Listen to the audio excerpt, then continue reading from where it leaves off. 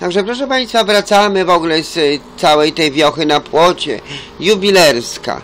No to tam jest przejście y, od ulicy Grochowskiej na ulicę Ostrobramską. Cała ta parafia. I nawet oni się spowiadali, nawet mówili, że oni y, potrafią, proszę Państwa, i w tym sklepie, pod sklepem, na płocie, dookoła sklepu żebrać. Tam też cyganki kiedyś latały, gdyśmy kawę piły w Nescafe, jak jeszcze był żant, potem był Real, teraz jest Auchan.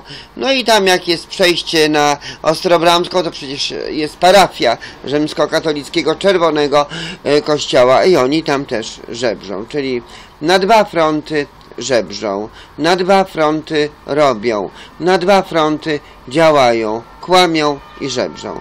A jeszcze tutaj na y, Szembeka, parafia Szembeka, no to nawet chciałam, ale czasu nie miałam zrobić zdjęć parę, ten kościółek taki szary, piękny ten kościółek, kościelisko wielkie, no i ten gruby tam mieszka Krzyś, Proszę Państwa, żeby on tam się zmieścił, to wiadomo, że to kościelisko musi być wielkie, szerokie jak beka.